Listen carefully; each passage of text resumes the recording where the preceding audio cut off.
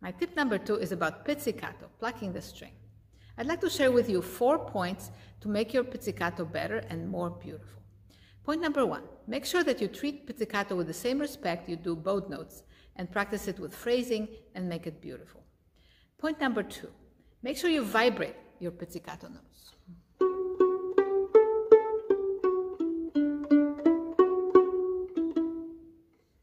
Point number three, practice with the bow so you can improve your intonation and tone. And point number four, make sure you use the pad of your index finger to pluck the string and play the note a little bit further down the fingerboard where the string is less tight, so it's more ringing. I hope this was helpful, and I'll see you on the next video.